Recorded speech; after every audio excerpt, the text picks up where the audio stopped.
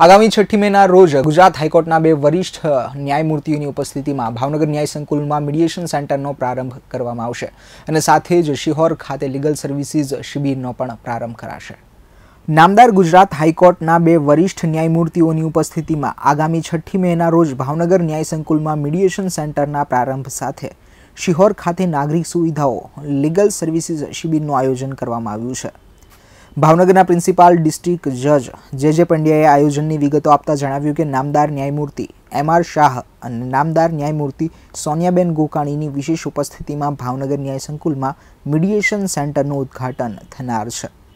Mediation centre શરૂ થતાં ત્વરિત ન્યાય ઈચ્છતા પક્ષકારોની સુવિધા વધશે અને કોઈ કડવાશ વગર પરસ્પર સમજણ અને સમજૂતીથી વિવાદોના નિવેડા લાવવાનો સબળ મંચ ઊભો થશે.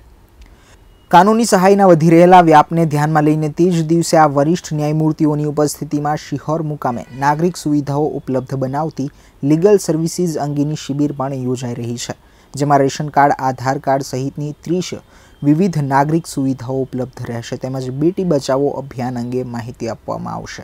અદના ઇન્સાન સુધી ન્યાય અને સેવા પહોંચતી કરવાના અભિગમ સાથે કાર્યરત કાનૂની સેવા સત્તા મંડળના આ આયોજનમાં જાહેર જનતા સક્રિય રસ લઈ અને સુવિધાનો લાભ ઉઠાવશે તેવી અપેક્ષા જે જે પંડ્યા કરી રહ્યા છે.